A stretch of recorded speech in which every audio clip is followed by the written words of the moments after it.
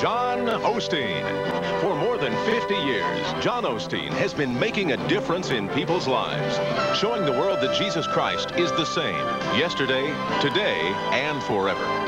Founder and pastor of Lakewood Church, John Osteen has dedicated his life to reaching the unreached and telling the untold. In America, reaching out to the poor, winning the lost, and changing lives on the street, on the job, and even in prison. Overseas, taking the power of the gospel to places that have never heard the name of Jesus Christ. Join us at Lakewood Church, the oasis of love in a troubled world. A church with a worldwide vision, reaching the lost here in the United States, and dedicated to taking the gospel to the nations of the earth, to preach, teach, and heal, just as Jesus did. Today, your life can be changed as God's Word comes alive in you. Don't miss the next 30 minutes with your host, Pastor John Osteen. The Bible says, It is not by might nor by power, but by my Spirit, saith the Lord of hosts. And I do welcome you again as we open the Word of God. I want you to give them a good amen. amen. What do you share with the people? Well, I was thinking this morning we had four or five men who had just been released from prison that came, and we were so glad to have them. And I thought of this scripture, and it's in the Living Bible in Psalm 32, and it, it would apply to them so much, but it applies to all of us because all of us have sinned. What happiness for those whose guilt has been forgiven. What joys when sins are covered over. What relief for those who have confessed their sins and God has cleared their records. God clears your record no Amen. matter what you have done. If you come to Him with a repentant heart and ask Him, Jesus will clear your record and He'll erase them and He won't ever remember them again. Now that's good news. No matter what you've done in life, if you're guilty, you need mercy, and Jesus is the one to give you mercy. So try it. It works. Amen. And everybody said amen. amen. And everybody said hallelujah. hallelujah. Let's hold up our Bibles and make our confession. This is my Bible. I am what it says I am. I have what it says I have. I can do what it says I can do. Today I will be taught the Word of God. I boldly confess. My mind is alert. My heart is receptive. I will never be the same. I am about to receive the incorruptible, indestructible, ever living seed of the Word of God. I will never be the same. Never, never, never. I'll never be the same. In Jesus' name. Amen. You may be seated and open your Bibles, please. And I say this to the television audience also, to 2 Corinthians chapter 1. Blessed be the God, even the Father of our Lord Jesus Christ, the Father of mercies, and the God of all comfort who comforts us in all of our tribulation, that we may be able to comfort them which are in any trouble by the comfort wherewith we ourselves are comforted of God. I'm preaching to you here in Lakewood Church and to the, the television audience the fourth message on touching eternity, knowing and understanding God. You know that little jingle says, reach out, reach out, and touch somebody. Well, we say, reach out, reach out, and touch God. And our master scripture is in Daniel 11:32, the people who do know their God. The people who do know their God. We're talking about knowing our God. There are all kind of strange gods that people worship. They worship a God that delights in sending cancer and AIDS and storms and sudden death and tragedies. And they, blame, they say that, that's what my God does. Well, that isn't the God I worship. There are people who believe in God, a God that, uh, that allows, that says, I'm going to destroy your home and I'm going to keep you poor and in poverty. They worship that kind of a God. That is not my God. The people who do know their God, if you know some kind of a strange God like that, you will not be strong. You'll be weak and fearful. The Bible says the people who do know their God shall be strong and do mighty exploits.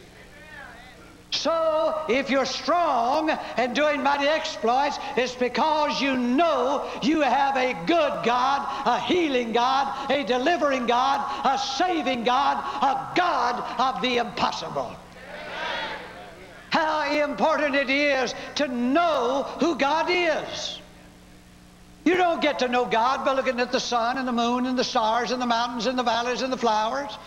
You know about God that way, but the way you know God is to get into the Word of God and hear what God says about Himself. The Bible says, My people are destroyed for lack of knowledge. See, there is a weakness co that comes over you, and there is destruction that comes if you don't know who your God is. And some people worship a denominationalized God, and they think He's a he's a Baptist or a Presbyterian or an Episcopalian or a Church of Christ or a charismatic or a Pentecostal. No, God is, didn't belong, doesn't belong to your denomination. No, God, God is bigger than greater than all our denominations. God is the God of all flesh. He doesn't see us as denominationalized people. He sees us as His family. The Bible says in 2 Peter, grace and peace are multiplied unto you through the knowledge, through the knowledge, through the knowledge. See, there's more than a hoop and a holler and a jump and a shout. We need to sit down and get knowledge. Peace and grace are multiplied, not added, multiplied through the knowledge of our, the Lord Jesus Christ and our God. The more you know about God, the more peace you have. Now, who is this God? We're talking about knowing God. I'm going to give you three scriptures today, uh, and uh, we read one of them there, that God tells you who He is. I don't care what somebody tells you or what experience tells you, don't believe anything but the Word of God. It says here, Blessed be the God, even the Father of our Lord Jesus Christ. Number one, He is the Father the supernatural Father of Jesus, who was born of the Virgin Mary, who came into the world to bear the sins of the world and the sicknesses of the world and the curse of the world and to die the ignominious death of the cross. He took the judgment of the human race upon Himself and raised it, and God raised Him from the dead. He is the only way, the truth, and the life, and no man comes to the Father but by Him. God says, I am the Father Father of that Lord Jesus Christ. Blessed be the God, even the Father of our Lord Jesus Christ, the Father of what? Mercies. What we need is not justice, we need mercy. I think of the thousands that sit here this morning, and I think of the multiplied hundreds of thousands uh, uh, that view this telecast around the world. Oh, it's so good to come through that camera and tell you that God not only has mercy, He's the Father of mercies. He's the Father of mercies. When I think of His mercy upon my own life, walking in darkness, not heeding His call again and again and again, rebelling in my heart, going the way of the world, the flesh, and the devil. And yet the tender voice of God kept dealing with my heart and dealing with my heart dropping out of high school, selling popcorn in the Isis Theater in North Fort Worth. I was lost and undone without God. I loved to tell the story. He had touched my heart many times, but I would not listen. He tried to get my attention, and I would not listen. But one night, coming home from a nightclub at 2 o'clock in the morning, alone, walking across South Fort Worth, having drained all of the pleasures of the world and still with an empty heart, and rebelling against God, not listening to Him. Oh, Oh, the mercy of God. I could have died and gone to hell, but in His mercy, He came again and walked by my side and knocked at my heart's door and showed His mercy. Thank God I listened that time and I passed out of darkness into His marvelous light. Oh, the mercy of God. The mercy of God.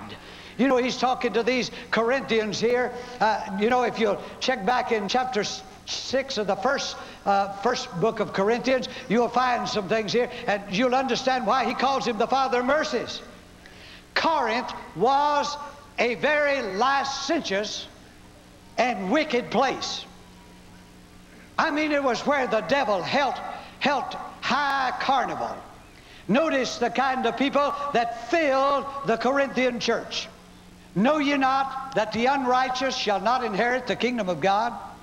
Be not deceived, neither fornicators, nor idolaters, nor adulterers, nor effeminate or homosexuals, abusers of themselves with mankind, nor thieves, nor covetous, nor drunkards, nor revilers, nor extortioners shall inherit the kingdom of God. Now that's a, that's a hard statement, but it is true. But that isn't what I read that for, to condemn people and make them feel bad. The next verse is the greatest news you can ever hear. Talk about the Father of mercies. That whole church was made up of people like that. And he says in verse 11, and such were some of you. Hallelujah. And such were some of you, and such are some of you today. But I've got good news for you. I don't care what you're in, you can get out of it in the name of Jesus to the Father of mercies. And such were some of you. But you are, notice, washed. You are sanctified. You are justified in the name of the Lord Jesus and by the Spirit of God. That's the good news that we have. Oh, all the wickedness of the world. It was filled in the church at Corinth. But Paul said he is the Father of mercies, and he takes people in their filthiness, and the first thing he does is washes them. Say, thank God I'm washed. Say, thank God I'm washed. He washes us from our past. Thank God I'm washed in the blood of Jesus. What can wash away my sin? Nothing but the blood of Jesus. What can make me whole again? Nothing but the blood of Jesus. Where can you find cleansing for your sin? What can wash away that adultery? What can wash away that fornication? What will wash away that, that uh, wrong kind of living that you had and that, that deviant uh, personality that you've got? What can wash away the sins that weigh upon your heart? The blood of Jesus Christ. He doesn't just cover us, He washes them away. And God said, Their sins and iniquities I will remember no more forever. First of all, he takes the, the, those people and washes them. And then the Bible says, sanctifies them. That is, he sets them apart and says, You're set apart from the world. You, you're going to be my vessel. You're going to be mine. And then not only so, lest the devil come around, he's going to make you righteous and justify you. See, that's the mercy of God. Not only are you washed from your sins, not only are you set aside as God's special property, God makes you righteous and gives you a heart that wants to do His will. He's the Father of mercies. He's the Father. But you say, what, what, what kind of a God is it that you believe in, Brother Osteen? I believe He's the Father of mercies. I believe He'll never give up on your case. I believe He'll show mercy to every person who will cry out to Him. Notice it says He is the Father of mercy, the God of our Father of our Lord Jesus Christ, the Father of mercies and the God of all comfort, who comforts us in all our tribulation that we may be able, say, I'm able, that we may able, be able to comfort those in any trouble by the comfort wherewith we ourselves are comforted of God. God is a great big comforter. And the Bible says, in any trouble that you're in, if you'll just turn to me, I will comfort you. I will give you grace. I will give you the power to endure what you're uh, uh enduring and, and the ability to chase the devil off. And when you get through with it, you will be able to comfort anybody in any trouble by the same comfort God gave you. He is the God of all comfort. I want you to turn to Hebrews chapter 13. Hebrews chapter 13 tells us what kind of a God that we have. In verse 20, now the God of peace. Not only the God of our Lord Jesus Christ, Father of our Lord Jesus Christ, and the Father of mercies, and the God of all comfort, He is the God of peace. Peace cannot be bought. Peace cannot be earned. Sometimes we who have been saved a long time forget what it means to walk without God in a world that's lost. Oh, God says, the wicked are like the troubled sea when it cannot rest, whose waves cast up dirt and mire. There is no peace, saith my God, to the wicked. But thank God the wicked can turn to the God of peace and he can find peace. He can find peace. The peace, that peace between you and God. God is the God of peace. He can, he can still the troubled waters of your spirit.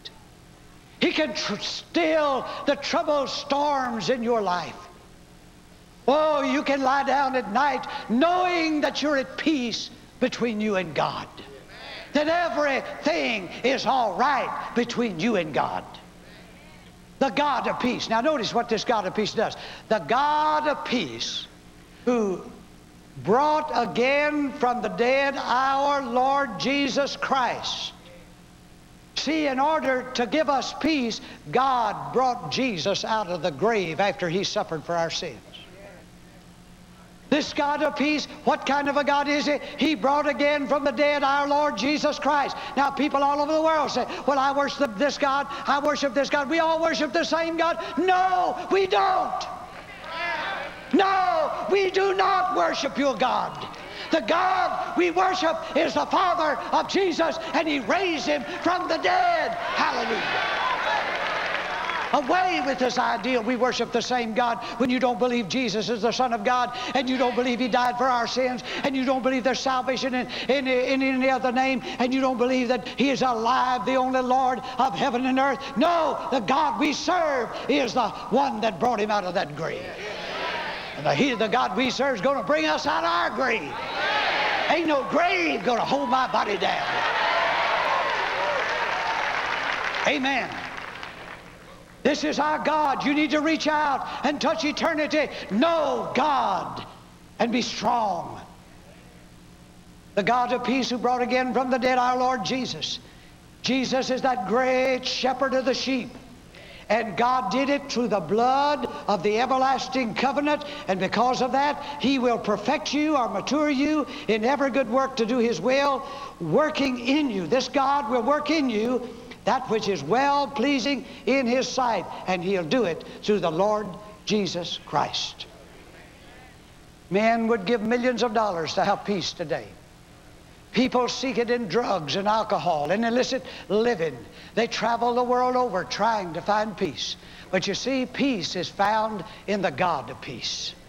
The God and Father of our Lord Jesus Christ took all your sins. He'll wash you. He'll cleanse you. He'll set you apart. He'll justify or make you righteous, and He'll give you a new heart. And you will have peace. Peace with God and the peace of God. Amen. You know, it's wonderful to know that all is well between you and God. God is not mad at the human race. Oh, you say, I found a scripture in the Old Testament. God is angry with the wicked every day. Yeah, but since Jesus came and put away our sins, God ain't mad anymore. God has reconciled the world to himself. He's already put away your sins. All you have to do is to know your God and accept His Son Jesus, and you will experience that wonderful thing that we call salvation. Can I have an amen? I want you to turn to another scripture in 1 Peter chapter 5, verse 10. This tells us what kind of a God you have.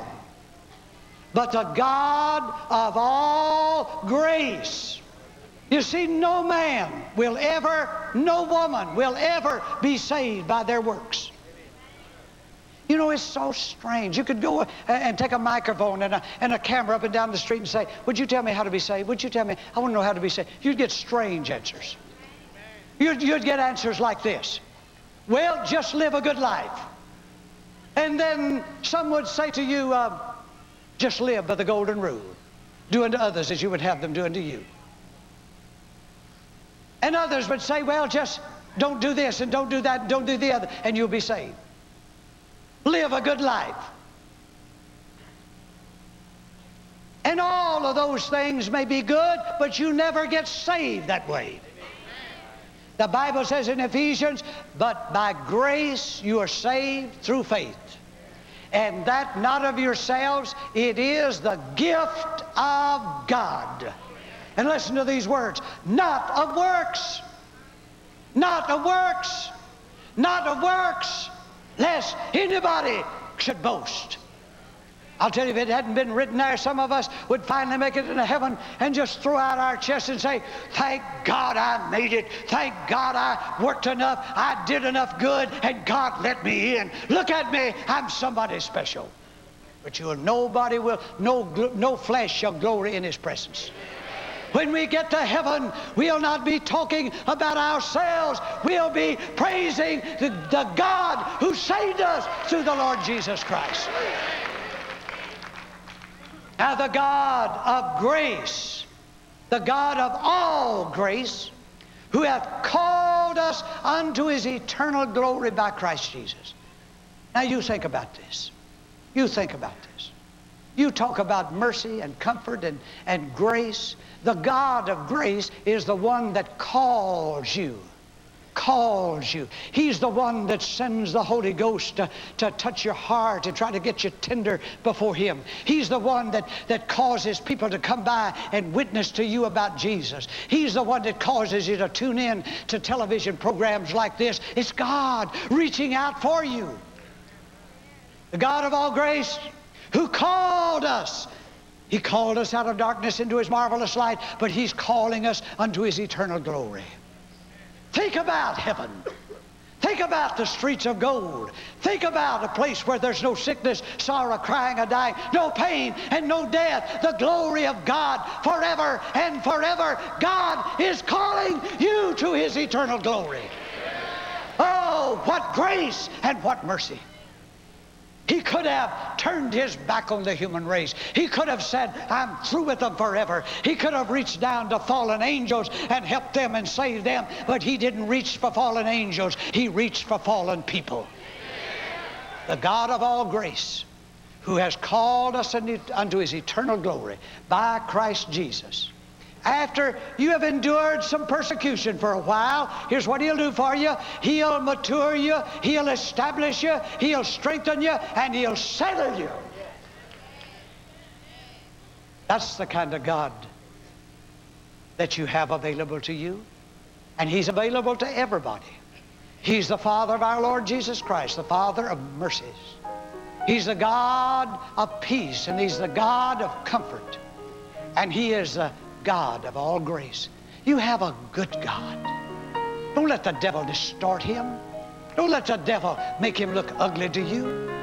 He's not a denominationalized God that goes by your denominational rules. He is God who is a God of love. He's on your side. I believe today you're going to shake yourself and get free of all of the false ideas the devil's put in your mind that God doesn't love you, God won't save you, God won't forgive you, God doesn't want to have anything to do with you. I believe you're going to see the God you really have, and I believe you're going to rise and come to Him, love Him, and serve Him all the days of your life.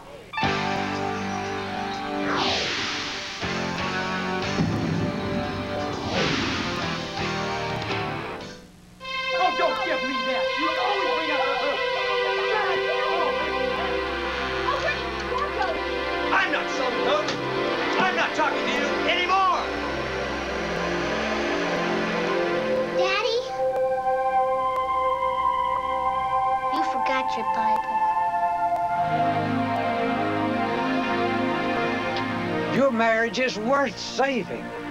Come to Lakewood Church, and we'll show you how.